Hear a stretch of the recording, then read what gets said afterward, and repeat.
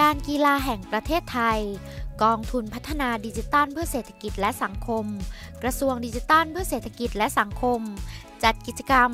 Thailand Online Sport Day ครั้งที่ 2 โดยเป็นการกลับมาอีกครั้งของการแข่งขันกีฬาในรูปแบบออนไลน์ ที่เปิดโอกาสให้ประชาชนคนไทยที่รักกีฬา และเป็นนักกีฬาทุกเพศทุกวัย ร่วมส่งคลิปวิดีโอใน 5 ชนิดกีฬา ได้แก่ การแข่งขันมวยไทยยุทธศิลป์ประเภท talent การแข่งขันกีฬา stack การแข่งขันเต้น b-boy การแข่งขันเซิร์ฟสเก็ต การแข่งขันเทควันโดฟรีสไตล์พุมเซ่เพื่อชิงรางวัลรวมมูลค่า 200,000 บาท พร้อมตอกย้ำการสร้างกระแสความตื่นตัวของประชาชน ให้รักสุขภาพด้วยการออกกำลังกาย เล่นกีฬา และการเข้าร่วมกิจกรรมกีฬาอย่างต่อเนื่อง ตลอดจนเพื่อพัฒนาแข่งขันกีฬาในรูปแบบใหม่ ที่มีความทันยุคทันสมัย และยังสร้างมูลค่าทางเศรษฐกิจให้กับประเทศต่อไปได้ในอนาคต โดยมีกำหนดระยะเวลาการจัดกิจกรรมตั้งแต่ 29 มีนาคม ถึง 27 พฤษภาคม 2565 และเปิดรับผลงานการแข่งขันตั้งแต่วันที่ 29 มีนาคม ถึง 14 พฤษภาคมนี้สำหรับในวันแข่งขันรอบชิงชนะเลิศ จะมีการถ่ายทอดสดการแข่งขัน รอบตัดสินผ่านทาง YouTube Main Stand ในวันที่ 27 พฤษภาคม 2565 ซึ่งมีรางวัลมอบให้ผู้ชนะ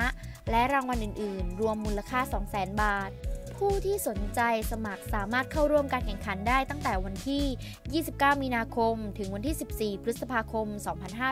2515โดยสมัครและส่งคลิป เพื่อเข้าร่วมการแข่งขันได้ที่ www.thailandonlinesportday.com หรือติดตามข่าวสารและสอบถามข้อมูลเพิ่มเติมได้ที่ Facebook Page Thailand Online Sport Day และอีเมล thailandonlinesportday at gmail.com หรือโทร 0851325494 ครับก็โครงการ Thailand Online Sport Day นะครับเป็นโครงการที่เราต่อเนื่องมาจากปีที่แล้วนะครับเ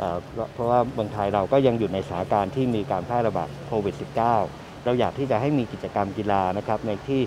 คนสามารถที่จะเข้ามาร่วมกิจกรรมได้ ภายใต้ความปลอดภัยนะครับ โดยที่ไม่ต้องมีการสัมผัสกันลดการสัมผัสนะ กีฬาต่างๆ ที่เราได้เลือกมานะครับ ก็เป็นกีฬาที่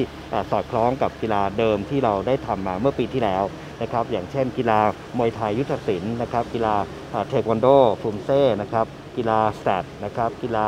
เซิร์ฟสเก็ตแล้วก็ b-boy นะจะเห็นว่าในกีฬากลุ่มนี้นะเป็นกลุ่มที่เราสามารถที่จะแข่งขันกันออนไลน์ได้ แข่งขันแบบ virtual sport ได้นะครับ เพราะว่าไม่ได้มีการปะทะกันนะแล้วก็เป็นกีฬาที่สามารถเข้าถึงได้ง่าย นะกีฬามวยไทยเป็นที่นิยมในระดับนานาชาติแล้วนะครับเราก็อยากที่จะเผยแพร่ในวงกว้างนะครับ ซึ่งโครงการนี้เนี่ยไม่ว่าท่านจะอยู่ที่จังหวัดไหนอยู่ที่ใดในประเทศไทย ก็สามารถที่จะเข้าร่วมกิจกรรมได้นะครับการแข่งขันต่างๆ ก็จะมีลักษณะของการให้คะแนนนะครับมีเรื่องของการประกวดต่างๆ ซึ่งก็ปีนี้น่าจะทำได้ดีขึ้นนะครับจากประสบการณ์ที่เราเคยทำปีที่ผ่านมาแล้ว แล้วก็คาดว่านะครับผลตอบรับก็จะดียิ่งขึ้นด้วย เราคาดหวังว่าคนเข้าร่วมเนี่ยก็น่าจะไม่ต่ำกว่าประมาณสัก 3,000 กว่าคนนะซึ่งตรงนี้ก็จะสามารถที่จะทำให้เราขยายผลนะครับในเรื่องของการพัฒนากีฬา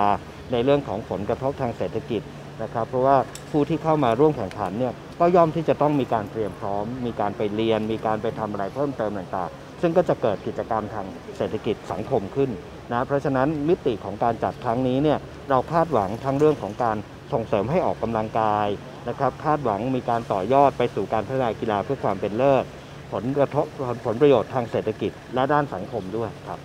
จากปีที่ผ่านมาค่ะได้มีคนเข้าสมัครอะค่ะในปีนี้ค่ะมีการคาดหวังผู้คนจะเข้าสมัครมากขึ้นกว่าปีที่แล้วไหมคะเราเราคาดว่าจะมากขึ้นนะครับ แล้วก็ตัวเลขเนี่ยเอ่อผมคิดว่านะฮะเอ่อตอนนี้เอ่อยังอยู่ในขั้นต้นนะครับ ก็จะมีการเอ่อประเมินแล้วก็ติดตามตลอด แต่ก็คาดว่า จากที่เราได้ดำเนินการมาปีที่ผ่านมาเนี่ยได้รับผลตอบรับที่ดี ปีนี้ก็น่าจะมีผลตอบรับที่ดียิ่งขึ้นครับ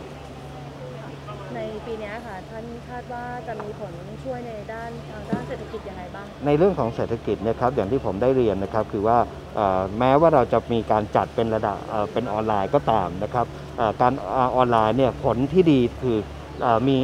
เขาเรียกว่าเอ่อคนทุกคนดูได้เยอะนะคนที่จะติดตามเนี่ยทั้งสื่อทาง เอ่อเว็บไซต์ทางโซเชียลต่างๆ Facebook ก็สามารถที่จะเผยแพร่วงกว้าง อันนี้ก็เป็นมูลค่าที่จะเกิดขึ้นนะครับจากการแข่งขันทั้ง 5 ชนิดกีฬานะ5ชนิดกีฬาก็มีแฟนคลับในแต่ละชนิดกีฬาที่จะติดตามนะครับ เพราะฉะนั้นการเผยแพร่ต่างๆเนี่ย และครั้งนี้เราก็จะมีการประชาสัมพันธ์ผ่านทาง T Sports 7ด้วยนะครับ ซึ่งก็จะทำให้คนได้เข้ามาสนใจมามาติดตามได้ง่ายขึ้น เข้าถึงได้ง่ายขึ้น รวมถึงกิจกรรมในเชิง ที่มีการเตรียมการฝึกซ้อมเรื่องของการต่อเนื่องนะครับ เพราะว่าคนที่เข้าร่วมเนี่ยก็ย่อมต้องไปเตรียมตัวนะย่อมต้องมีกิจกรรมต่างๆ ที่จะเกิดมูลค่าทางเศรษฐกิจขึ้น ซึ่งตรงนี้ก็ผมตีมูลค่านะครับก็อาจจะเป็นถึงหลักร้อยล้านด้วยซ้ำนะครับและนอกจากมูลค่าทางเศรษฐกิจแล้ว มูลค่าผลประโยชน์ทางสังคมนะครับที่เรียกว่า EIRR ก็จะมีการประเมินด้วยนะครับว่าการจัดกิจกรรมแบบนี้เนี่ยเป็นประโยชน์ทั้งทางด้านเศรษฐกิจและด้านสังคมเพียงไหน นะซึ่งคาดว่าปีนี้จะมีเอ่อผลประโยชน์มากกว่าปีที่ผ่านมาครับสุดท้ายนี้นะคะอยากให้ฝากถึงหลาย ๆ ท่านที่ติดตามการแข่งขันในครั้งนี้ค่ะ สามารถติดตามผ่านทางช่องทางไหนได้บ้าง หรือว่าสามารถสมัครสมัครผ่านเว็บไซต์อะไรได้ก็บ้างอยากเชิญชวนนะครับพี่น้องประชาชนนะครับทุกเพศทุกวัยนะครับทุกอายุเลยนะครับเอ่อตั้งแต่สมัครเล่นไปจนถึงมืออาชีพเนี่ยสามารถที่จะเข้ามาร่วมกิจกรรมของเรานะครับโดยผ่านทางเอ่อเว็บไซต์ แล้วก็ Facebook ของ Thailand Online Sport Day นะครับ ซึ่งก็จะมีการเผยแพร่ให้ได้ได้ทราบนะครับว่ามีการรับสมัครวันไหนอย่างไรบ้างนะครับ แล้วก็มีการแข่งขันรอบแรกรอบสุดท้ายเมื่อไหร่อย่างไรนะครับ ก็อยากให้ติดตามชมกันนะครับ แล้วก็ท่านใดที่อยากที่จะ